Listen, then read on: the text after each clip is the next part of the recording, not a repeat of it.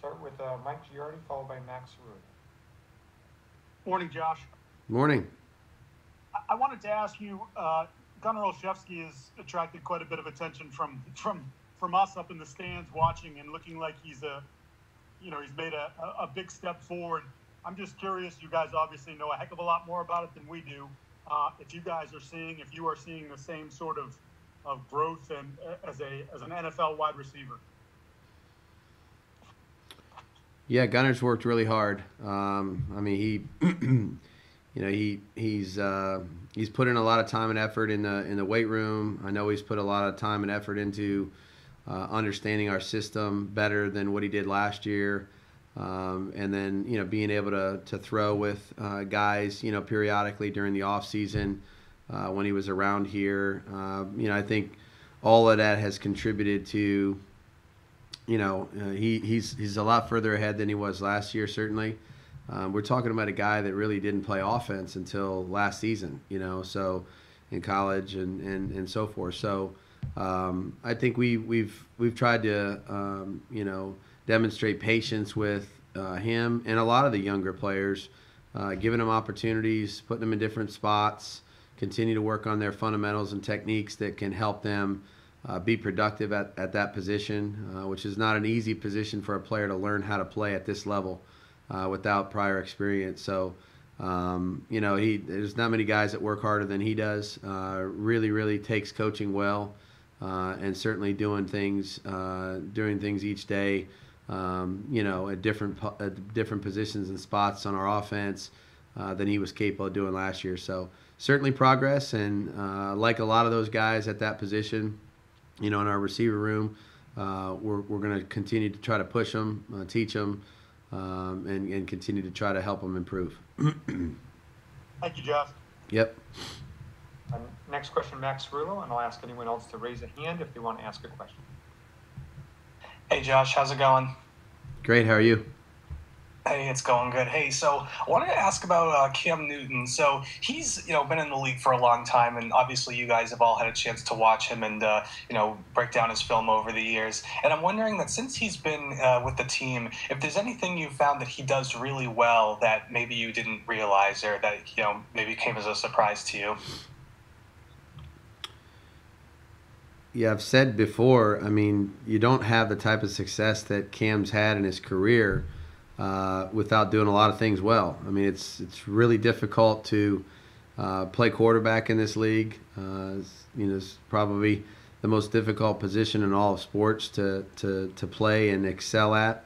Um, and he's done it at the highest level. And so um, I went into it with an open mind. I didn't, you know, without having uh, extensive firsthand knowledge of, of Cam, um, you know, you just go into it with an open mind and you learn about the player uh, you learn their strengths. You learn maybe what their weaknesses are, or or what you can try to help improve. Um, and so nothing's really surprised me. Um, you know, Cam understands football uh, very well.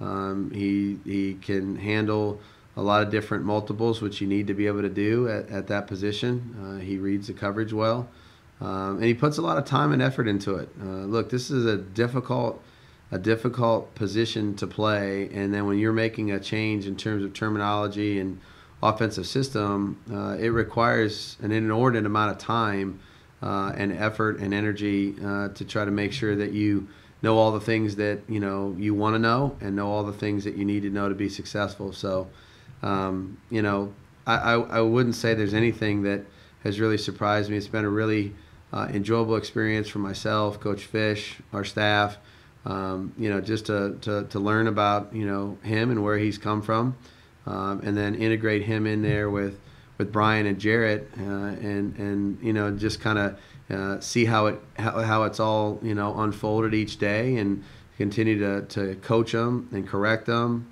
and learn about the things that they do well and, um, and try to minimize the mistakes that we make at practice and, and, and kind of continue to do the things that we do really well, really well.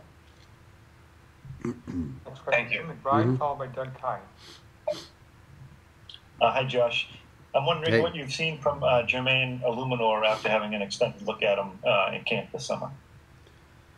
Yeah, Jerm- I mean, this is uh, you know, we got Jermaine at the end of training camp last year, um, and you know, so it's it's it's sometimes it's difficult at times. You know, when you get players in the middle of the season, or even at the end of training camp, where they have no off season, no OTAs, no strength and conditioning program in your the way that you do it, and then no training camp. You know, uh, you're just kind of throwing them into the fire, and you're trying to teach them on the run. And so this year's, you know, I would say for Korey, uh, you know, uh, and Jermaine, you know, both of them we picked up at the end of, of camp last year.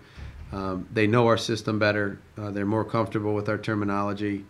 Um, you know, and, and we've we've asked those guys to move and, and play a few different spots, and they responded pretty well. Uh, they're all competing every day. Uh, Jermaine's been out there uh, each day working hard at his techniques, at his fundamentals. Uh, he's a big guy, you know. He's hard to run through, you know, in pass protection, and uh, you know you, you, you, can move people uh, up front in the running game with guys like Jermaine. So um, no, just pleased with what he's been been trying to do, the effort he's given. Um, he's got room to improve and grow, like we all do. But that's what he's out there working hard to do every day. Uh, next question, Doug Kyed, followed by Mike Giardi.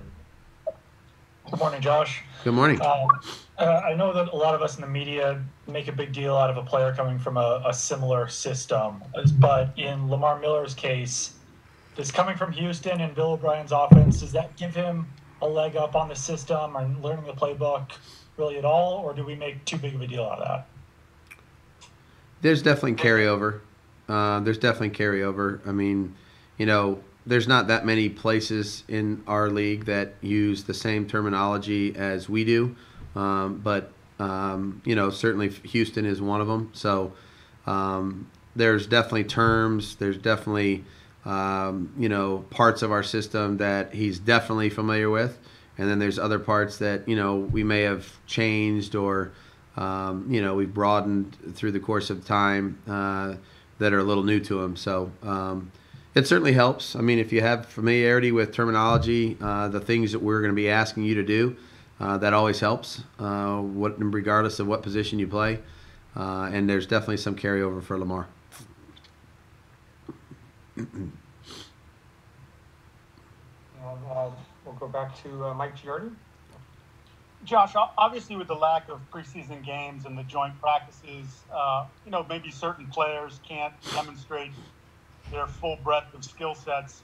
And I'm wondering how that pertains to Cam, because obviously one of the things that makes Cam and has made Cam unique and special at that position is the size, speed, strength to shrug off linebackers, defensive ends, and so forth. So I guess the question being, how do you know that that's still in him? How do you know that he still has that that that bag uh, of talents and skills in, in his skill set?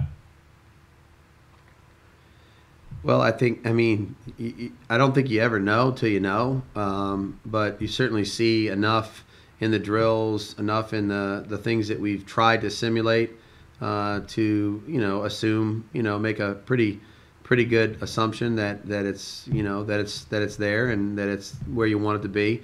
I would say we go through that same process, you know, with backs, receivers, tight ends, um, linemen, each training camp because there's very few opportunities when we're in practice where you finish a block with a guy on the ground, uh, you break a tackle and continue to run and and you know and do all the things that are actually going to happen in a real game. And you're right, you know, not having the preseason games so that you can evaluate those snaps and those live action reps. Um, you know, it it's definitely something where you know when you don't have them, you you miss that you know that that opportunity to add to your evaluation.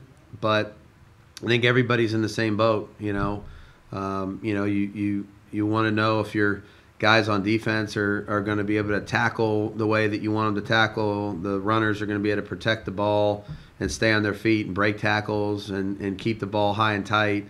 I mean, it's it's the same for really a lot of positions. I would just say, you know, in this in this situation that we're all in, um, you're definitely going to have to, you know, uh, use common sense and, and use what you see and try to make the best evaluation that you can on each player's skill set and, and where it's at. Um, and probably use the first month of the season to confirm that.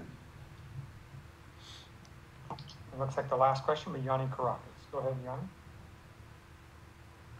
Hey Josh, uh, historically, how far in advance do you game plan for your week one opponent? You have the benefit of having, you know, the whole preseason.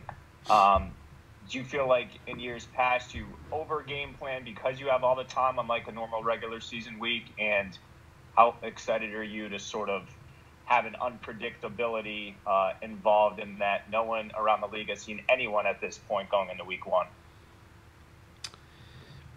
I would say it's a it's a great question. Um, I probably learned over time uh, not to um, you know not to over plan too far in advance because um, I know that you know part of the part of the preparation for the beginning of the season is your evaluation of your own team, and until you really know what you have and and what you do well and who you're really working with at each position, um, it you know you can just you can do a lot of work and, and it might it might be for naught based on the complexion of your team after training camp. So um, there's a balance there. Uh, you certainly have an opportunity to get ahead, which we've all seen the opponent we're going to play in week one. We've all you know done our our research and our work. We know who those who those players are, and we and there's also some players we've never seen in that uniform uh, that we understand are there, but you know, not necessarily sure how they're going to be deployed.